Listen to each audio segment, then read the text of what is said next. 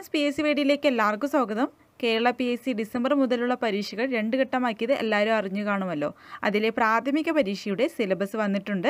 എന്തൊക്കെ പഠിക്കണമെന്ന് നമുക്ക് നോക്കാം. ഓക്കെ ഫസ്റ്റ് വൺ പൊതുവിജ്ഞാനം ആനുകാലികം ആൻഡ് കേരളത്തിലെ പ്രധാന നവോത്ഥാന നായകന്മാരെ കുറിച്ചിട്ടുമാണ് പഠിക്കേണ്ടത്. നമുക്ക് നോക്കാം ഡീറ്റെയിൽഡ് ആയിട്ട്. ഓക്കെ ഫസ്റ്റ് കോളത്തിൽ ശാസ്ത്ര സാങ്കേതിക മേഖല കലാ സാംസ്കാരിക മേഖല രാഷ്ട്രീയ സാമ്പത്തിക സാഹിത്യ മേഖല കായിക മേഖല ഇവയുമായി ബന്ധപ്പെട്ട ഇന്ത്യയിലെയും പ്രത്യേകിച്ച് കേരളത്തിലെയും സമകാലീന സംഭവങ്ങൾ. അടുത്തത് ഇന്ത്യയുടെ ഭൂമിശാസ്ത്രപരമായ സവിശേഷതകൾ. ഈ ടോപ്പിക് നമ്മുടെ ചാനലിൽ അപ്ലോഡ് ചെയ്തിട്ടുണ്ട്. തീർച്ചയായും കാണുക കേട്ടോ. ഊർജ മേഖലയിലെയും ഗതാഗത വാർത്താവിനിമയ മേഖലയിലെയും പുരോഗതി പ്രധാന വ്യവസായങ്ങൾ എന്നിവയെ സംബന്ധിച്ച് പ്രാഥമിക അറിവ്.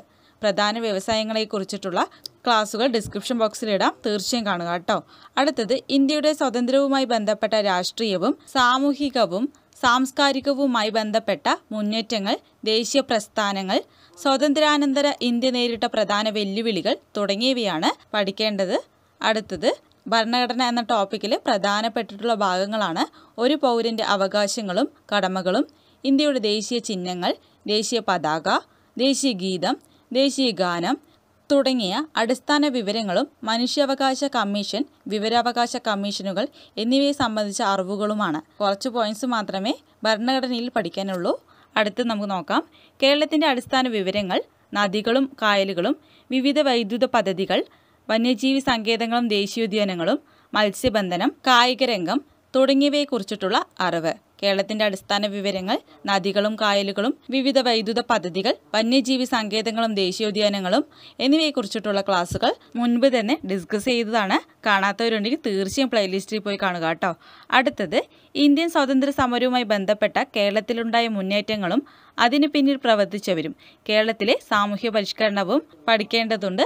അടുത്തത് പ്രധാനപ്പെട്ട നവോത്ഥാന നായകന്മാരെ കുറിച്ചിട്ടാണ് അയ്യങ്കാളി ചട്ടമ്പി സ്വാമികൾ ശ്രീനാരായണ ഗുരു പണ്ഡിറ്റ് കറുപ്പൻ വി. ടി. ഭട്ടതിരിപ്പാട് കുമാരഗുരു മന്നത്ത് പത്മനാഭൻ തുടങ്ങിയ സാമൂഹ്യ പരിഷ്കർത്താക്കളെ കുറിച്ച് നമ്മൾ ഡിസ്കസ് ചെയ്താണ് പ്ലേലിസ്റ്റിൽ കേരള നവോത്ഥാന നായകന്മാരെ കുറിച്ച് ഡീറ്റെയിൽഡ് ആയിട്ട് നമ്മൾ ക്ലാസ് എടുത്തിട്ടുണ്ട്. തീർച്ചയായും എല്ലാവരും കാണുക കേട്ടോ. അടുത്തത് നാച്ചുറൽ സയൻസ് ഫസ്റ്റ് വൺ മനുഷ്യ ശരീരത്തെ കുറിച്ചുള്ള പൊതു അറിവ്. ജീവകങ്ങളും അപര്യാപ്തത രോഗങ്ങളും രോഗങ്ങളും രോഗകാരികളും കേരളത്തിലെ ആരോഗ്യക്ഷേമ പ്രവർത്തനങ്ങൾ കേരളത്തിലെ പ്രധാന ഭക്ഷ്യ കാർഷിക വിളകൾ വനങ്ങളും വനവിഭവങ്ങളും പരിസ്ഥിതിയും പരിസ്ഥിതി പ്രശ്നങ്ങളും എന്നിവയെക്കുറിച്ചിട്ടാണ് നാച്ചുറൽ സയൻസിൽ പ്രധാനമായി പഠിക്കേണ്ടത്. തുടർന്നുള്ള ക്ലാസ്സുകളിൽ പരീക്ഷ ആകുമ്പോഴേക്കും നമുക്ക് പഠിച്ചെടുക്കാവുന്നതാണ്. ഓക്കെ അടുത്ത ടോപ്പിക്ക് നോക്കാം. ഫിസിക്കൽ സയൻസ് ആറ്റവും ആറ്റത്തിന്റെ ഘടനയും അയിരുകളും ധാതുക്കളും മൂലകങ്ങളും അവയുടെ വർഗീകരണവും ഹൈഡ്രജനും ഓക്സിജനും രസതന്ത്രം ദൈനംദിന ജീവിതത്തിൽ ദ്രവ്യവും പിണ്ഡവും പ്രവൃത്തിയും ഊർജവും ഊർജവും അതിന്റെ പരിവർത്തനവും താപവും ഊഷ്മാവും പ്രകൃതിയിലെ ചലനങ്ങളും ബലങ്ങളും ശബ്ദവും പ്രകാശവും സൗരയുധവും സവിശേഷതകളുമാണ് ഫിസിക്കൽ സയൻസിൽ പഠിക്കാനുള്ളത്. അടുത്തത് സിമ്പിൾ അരിത്തമാറ്റിക് ആൻഡ് മെന്റൽ എബിലിറ്റിയാണ് ലഘുഗണിതത്തിൽ പഠിക്കേണ്ടത് സംഖ്യകളും അടിസ്ഥാന ക്രിയകളും ലസാഗു ഉസാഗ ഭിന്നസംഖ്യകൾ ദശാംശ സംഖ്യകൾ വർഗവും വർഗമൂലവും ശരാശരി ലാഭവും നഷ്ടവും സമയവും ദൂരവും എന്നിവയാണ് ലഘുഗണിതത്തിൽ പ്രധാനമായും പഠിക്കേണ്ടത്.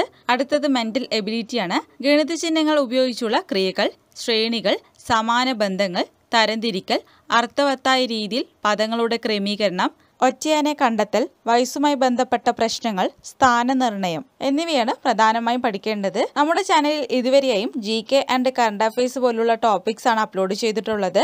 ജി കെ എത്രത്തോളം പ്രാധാന്യത്തോടെ പഠിക്കുന്നുവോ അതുപോലെ തന്നെയാണ് മാത്സ് നമ്മൾ പഠിച്ചെടുക്കേണ്ടത്. തുടർന്നുള്ള ക്ലാസ്സുകളിൽ ഈ പറയുന്ന സിലബസ് ആണ് നമ്മൾ കണ്ടിന്യൂ ചെയ്യുന്നത്. തുടർന്നുള്ള ക്ലാസ്സുകൾ എല്ലാവരും കാണാൻ ശ്രമിക്കുക. തുടർന്ന് നിങ്ങളുടെ സപ്പോർട്ട് ഉണ്ടെങ്കിൽ മാത്രമേ കൂടുതൽ ക്ലാസ്സുകൾ ചെയ്യാൻ പ്രചോദനമാവുകയുള്ളൂ. ഇതുവരെ എന്റെ ചാനൽ സബ്സ്ക്രൈബ് ചെയ്യാത്തവരാണെങ്കിൽ തീർച്ചയായും സബ്സ്ക്രൈബ് ചെയ്യുക. തൊട്ടടുത്തുള്ള ബെല്ലൈക്കും കൂടി ക്ലിക്ക് ചെയ്യാൻ മറക്കല്ലേട്ടോ എങ്കിൽ മാത്രമേ തുടർന്നുള്ള ക്ലാസ്സുകളുടെ നോട്ടിഫിക്കേഷൻ നിങ്ങൾക്ക് ലഭിക്കുള്ളൂ. Thank friends